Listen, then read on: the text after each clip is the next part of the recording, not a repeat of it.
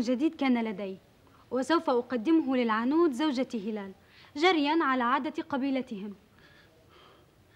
كيف؟ إن من عادة قبيلة هلال أن يقدم الضيف هدية للمضيف عند دخوله منزله لأول مرة. بورك فيك يا راوم. والآن سأسبقك إلى مجلس هلال. مع السلامة. يا أبجار نعم يا سيدتي. لقد أعددت لك الطعام. تفضل. شكرا لك يا سيدتي. سأتجه إلى المرأة الآن. مع السلامة. مرحبا بك يا ابن عيلان في ديار طي وعلى أرضها. واعلم أنك لست غريبا بيننا. فنزلت أهلا وحللت سهلا. بورك فيك يا سيد طي. وما هذا بجديد عليكم؟ فأنت المعروف والمشهود له بكرم الضيافة.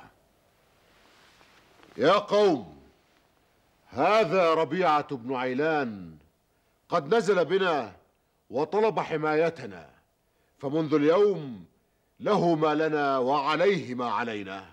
أبشر بما يطيب له خاطرك يا سيد طي. فجارك جارنا ونأمل أن لا ينظر إلينا إلا كأهل وعشيرة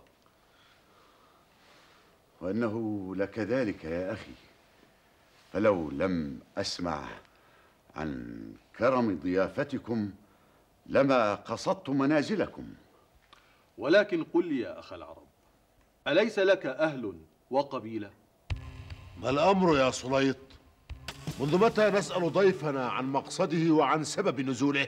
المعذرة يا سيد طي. ما قصدت الإساءة إلى ضيفك لكنه سؤال زل به لساني. وأنا أعتذر عما بدر مني. لا عليك يا أخي لا عليك. هلموا بالطعام يا قوم. ما أجمله من ثوب يراهم. لا شك بأنه غالي الثمن. لا يغلو عليك يا أخية إنه ثوب مصنوع من البوليستر وموشى بالحرير. وقلت في نفسي أنه لا يليق إلا بالعنود. ما أجمله من ثوب وما أرق ملمسه. شكرا لك يا رعوم. والآن حدثيني عنك وعن قومك. يا سيد طي يا رجال طي جريا على عاداتنا وتقاليدنا فإنني أدعوكم غدا لتناول طعام العشاء في بيتي. وأرجو ألا ترد دعوتي. حاشا لله. قد قبلنا دعوتك شاكرين يا ربيعة. والآن أستأذنكم في العودة إلى بيتي. رافقتك السلامة. أستودعكم الله.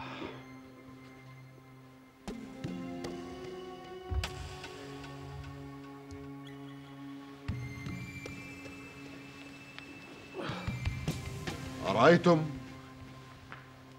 إن الفقر وضيق ذات اليد لم يحل بينه وبين كرم الخصال. صدقت يا سيد طي.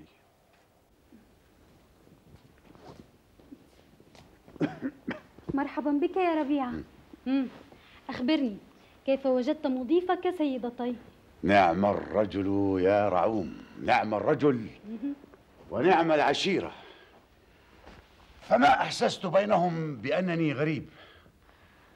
هل أخذ أبجر الزاد؟ أجل لقد أعددت له زاده وانطلق إلى المراعي وهو في غاية السرور. لما؟ يقول بأن رعاة طي قد أحبوه وأنسوا بوجوده وكأنه يعيش بينهم منذ سنوات. ما أسرع ما ينسى الإنسان أهله. لا يا رعوم الإنسان لا ينسى أهله ولكنه قد يتناسى مكرها. ما كان أحد يجبرك على الرحيل وتحمل ما تحملت يا ربيعة. كان لابد من ذلك. هل يطيب لك أن أستل سيفي في وجه أخي عوف؟ لن يقبل حر بذلك. إلى أين؟ سآتي المراعي لأختار شاة أو اثنتين. فقد دعوت سيد طي إلى طعامي. نعم ما فعلت يا ربيعة. رافقتك السلامة.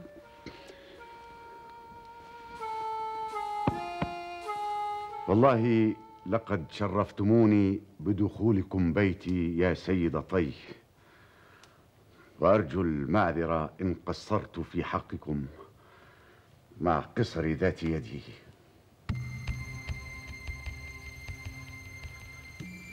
لا عليك يا ربيعة.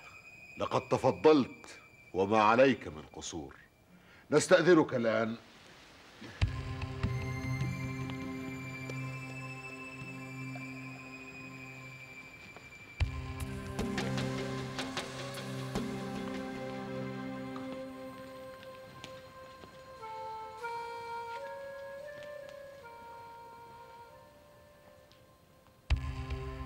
ما بك يا سيد طي هل من أمر رابك أو أغضبك؟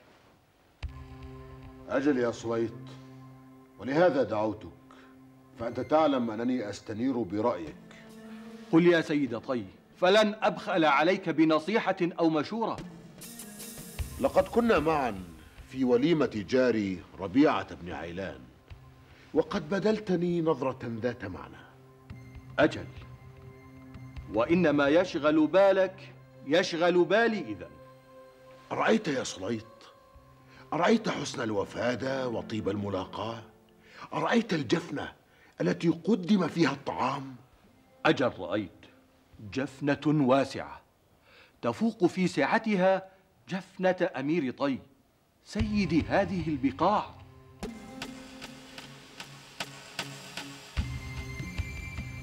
إن مظهرها لا يتناسب مظهر هذا الخباء الصغير مع رثاثة حال صاحبه وضعف شأنه. أيها الأمير سأبوح لك بسر لا أستطيع كتمانه. قل يا سليط. إن صاحبنا هذا الذي يعيش بجوارك ليس امرئا مغمورا ولا جارا هين الأمر. أجل أجل. وهذا ما دار بذهني يا سليط. إن ملامحه تدل على النبل والسيادة. ولأمر ما نزل في جوارك. أشر علي إذن يا سليط. كيف أنجو من شره؟ تغدى به قبل أن يتعشى بك. أقتله وقد استجار بي وأمنته. أجل أقتله. اقتله قبل أن يأتيك شر لا طاقة لك به. ويحك يا صليت تحمله على الغدر بجاره؟ لا لعمري لن يكون هذا أبدا.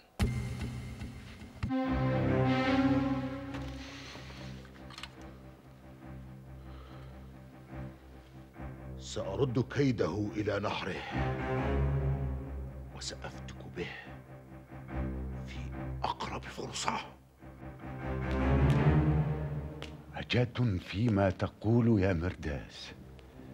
سيد طي ينوي الغدر بي وقد أجارني. هذا ما سمعته بأذني يا سيدي.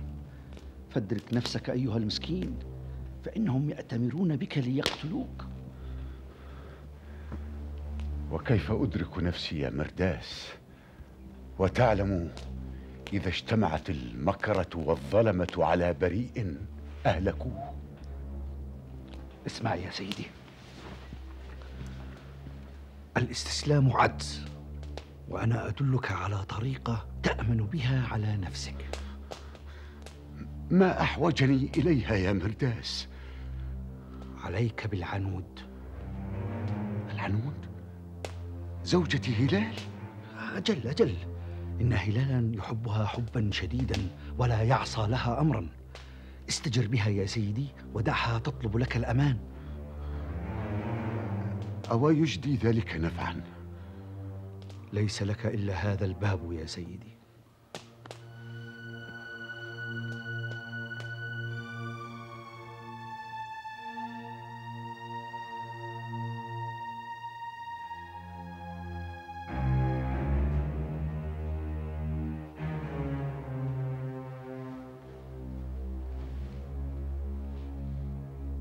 نعمت مساء.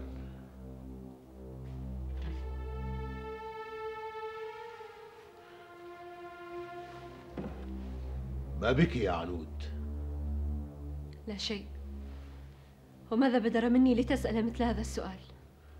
لم أعهدك على هذه الحالة. لم تخفي لاستقبالي على غير عادتك. كان هذا قبل أن يتكشف لي عنك ما تكشف.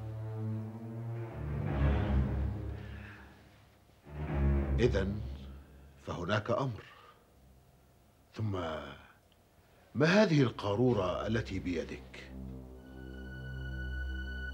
هذا هذا سم ساعة ماذا؟ سم ساعة؟ أجل وأقسم على ذلك ولم تحملين السم يا عنود؟ سأشربه. دعك من هذا المزاح واعطيني هذه الزجاجة. قلت لك سأشربه. وأقسم على أنني سأشربه. لو حدث شيء مما تنام إلى سمعي يا هلال. وماذا تنام إلى سمعك؟ نية الغدر بجارك الغريب. اجلسي واسمعي وجهة نظري في الموضوع. مهما يكن من أمر فهذا لا يبرر لك الغدر به وقد استجار بك.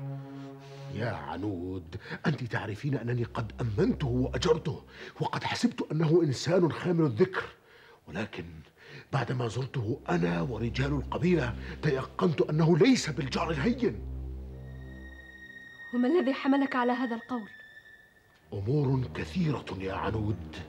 إن كل ما حوله يدل على السيادة وملامحه تدل على النبل وأنا أخشى على نفسي بوائقه. يعقل هذا؟ هل يعقل هذا؟ وقد أهدتني زوجته مثل هذا الثوب؟ وهل مثل هذا الشك يبيح لكريم مثلك الغدر بمن أمنته؟ أليس هناك من طريقة أخرى يا هلال؟ اسمعي يا عنود أنت تعرفين قدرك عندي أعطني هذه الزجاجة وعلى جارنا الأمان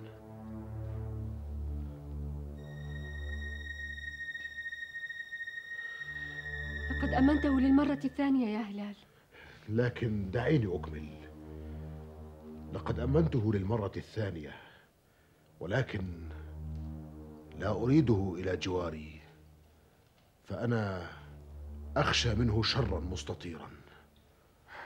لا عليك لن يعصى لك أمر وسأبعث من ينقل إليه رغبتك.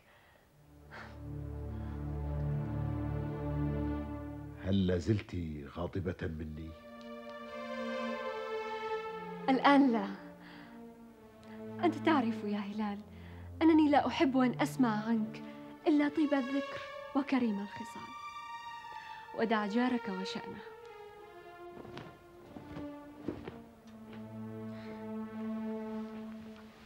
ربيعة مرحبا بك. ها أخبرني ماذا فعلت؟ هيا يا رعوم هيا. لا وقت لدينا. تجهزي للرحيل. نرحل. إلى أين؟ إلى أي مكان؟ فأرض الله واسعة. قل لي ماذا فعلت يا ربيعة؟ لقد استطاعت العنود إقناع سيد طي بعدم الفتك بي لكنه اشترط عليها رحيلي من جواره. وهل نأمن على أنفسنا من رجال قبيلته إذا ابتعدنا؟ أجل أجل. لقد أمنني ورجال قبيلته يمتثلون لأوامره. هيا هيا سأعود لاصطحابك. إلى أين تذهب الآن؟ سأمر على المراعي فخادمنا أبجر ليس لديه علم بما حدث. وسأحضر ذلولا لحمل أمتعتنا ويقابلنا أبجر خلال الطريق. بماذا يفكر سيد طي أفكر فيما فعلناه يا سليط. ولا أدري إن كنا ظلمنا الرجل أم لا. وبماذا تشير علي أيها الأمير؟ اسمع يا سليط. لدي خطة أكشف بها ربيعة.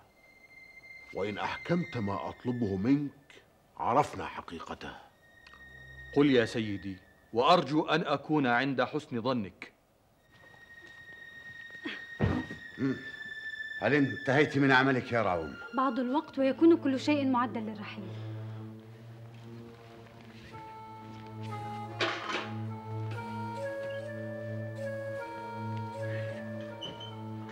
يا ربيعة مرحبا بك يا سيد طي جئت لوداعك فلا يجوز لمثلك أن يغادر دون أن نودعه ونعتذر منه. والله لو لم تأتي يا سيد طي لكنت فعلت أنا. يا سيد طي! يا سيد طي! ماذا وراءك يا سليط؟ لقد أغار بنو قاسط علينا يا سيدي. واستاقوا ما في المراعي ولم يتبق لدينا لا ثاغية ولا راغية. ماذا تقول؟ السلاح السلاح! لما الوقوف ها هنا إذن؟ هيا يا سليط اندب رجال القبيلة للقتال! أتقاتل عدونا يا ربيعة وقد نالك منا ما كرهت. هذا ليس وقت عتاب يا سيد طي لقد تربيت على الولاء ولن أعقر يدا امتدت إليه ولن أخون من أمنني وأجارني. بورك فيك يا ربيعة لقد كشفت الآن عن طيب معدنك. والله إن أردت إلا اختبارك فأنت منذ الآن صديقي وأخي.